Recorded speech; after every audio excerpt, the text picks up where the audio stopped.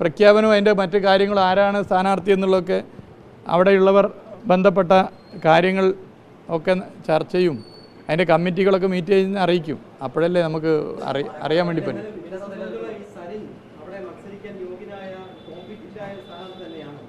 അല്ല അതൊക്കെ പാർട്ടി ചർച്ച ചെയ്യുള്ളൂ പാർട്ടി പ്രഖ്യാപിക്കുന്ന സ്ഥാനാർത്ഥി തീർച്ചയായിട്ടും യോഗ്യതയുള്ളവരാര് ആയിരിക്കുമല്ലോ.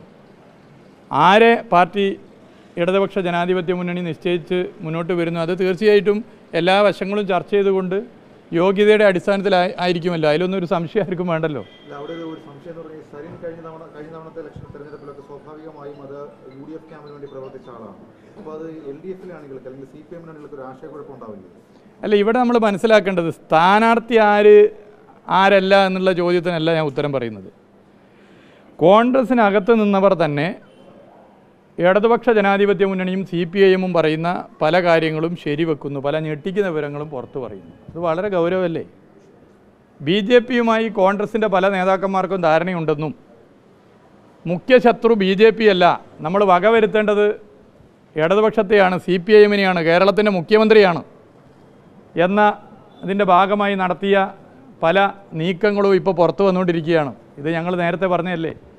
കോൺഗ്രസ്സിലെ മുഴുവൻ നേതാക്കന്മാർ ഇത് അംഗീകരിക്കുമോ കോൺഗ്രസ്സിൽ പ്രവർത്തിക്കുന്ന മുഴുവൻ ആളുകൾ ഇത് അംഗീകരിക്കുമോ കോൺഗ്രസ്സിന് വോട്ട് ചെയ്തിരുന്ന മുഴുവൻ ആളുകൾ ഇത് അംഗീകരിക്കുമോ ബി ജെ പി അല്ല മുഖ്യ ശത്രു.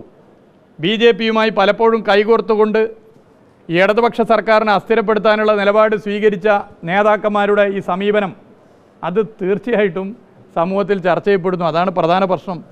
അത് അതേ നിലയിൽ തന്നെ സമൂഹത്തിൽ ചർച്ച ചെയ്യപ്പെടും. കോൺഗ്രസിനകത്തു നിന്ന് തന്നെ ശബ്ദം ഉയർന്നുകൊണ്ടിരിക്കുകയാണ്. ഇപ്പോൾ ഒരു എ ഐ സി സി അംഗം അപ്പുറത്തൊന്നും രാജിവെച്ചു എന്ന് ഞാൻ മനസ്സിലാക്കുന്നത്. ഇനിയും ഈ നിലപാടിന്റെ ഭാഗമായി കോൺഗ്രസിൽ പൊട്ടിത്തെറി ഉണ്ടാവും.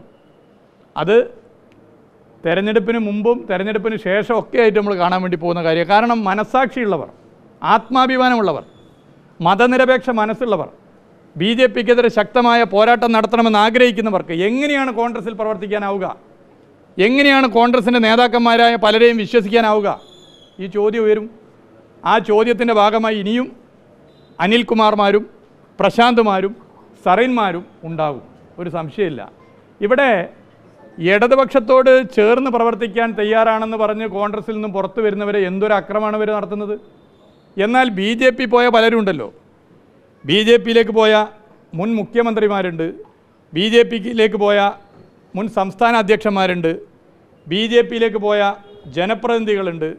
ഈ കേരളത്തിൽ തന്നെ ബി ജെ പിയിലേക്ക് പോയ സമുന്നതരായ നേതാക്കന്മാരുണ്ട്. ഇവരെ ആരെങ്കിലും ഇങ്ങനെ ആക്രമിച്ചിട്ടുണ്ടോ? അപ്പോൾ കോൺഗ്രസ് വിട്ട് ബി ജെ പി പോയാൽ കോൺഗ്രസിന്റെ സംസ്ഥാന നേതൃത്വത്തിന് പ്രശ്നമില്ല. കോൺഗ്രസിന്റെ സംസ്ഥാന നേതൃത്വത്തിനുള്ള പ്രശ്നം പ്രതിപക്ഷ നേതാവിനുള്ള പ്രശ്നം കോൺഗ്രസ് വിട്ട് ഇടതുപക്ഷത്തോട് ചേർന്ന് പ്രവർത്തിക്കാൻ അക്രമം നടത്തുന്നു. ഇത് തന്നെ ഇന്നത്തെ കോൺഗ്രസ് നേതൃത്വം പ്രതിപക്ഷ നേതാവ് ഉൾപ്പെടെ ഉയർത്തുന്ന രാഷ്ട്രീയം എന്ത്